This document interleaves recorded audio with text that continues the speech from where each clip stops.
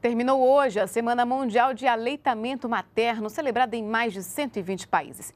Amamentação e trabalho foi o tema deste ano.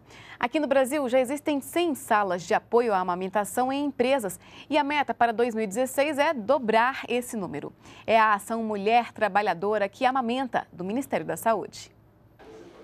Trabalhar fora e amamentar. Como conciliar as duas coisas? Essa era a maior preocupação da Samanta. Funcionária dessa empresa de assistência à saúde, ela teve que encarar o desafio, enfrentado por muitas mães depois da licença maternidade.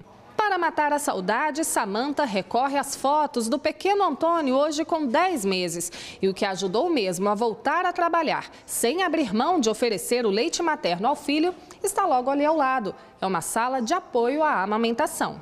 Nos últimos meses, esse espaço foi um refúgio para Samanta, momento de se preparar para retirar o leite usado para alimentar o bebê na ausência dela. A sala de amamentação foi um carinho, assim, porque eu tinha a possibilidade de tirar o leite para ele e deixar em casa para eu estar presente mesmo quando eu não estivesse presente. O gerente da empresa garante que as vantagens refletem em todo o ambiente de trabalho. A mãe trabalha com menos preocupação, com mais satisfação, com mais segurança e com mais sorrisos também.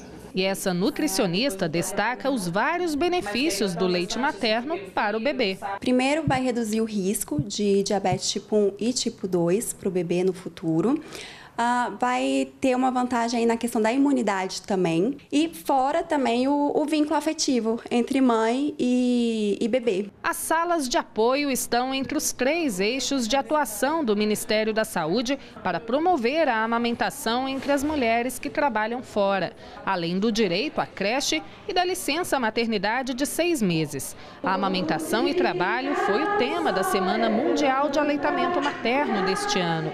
Na cerimônia de encerramento, nesta sexta-feira em São Paulo, o ministro Arthur Quioro homenageou empresas que já oferecem todos esses benefícios às funcionárias que amamentam.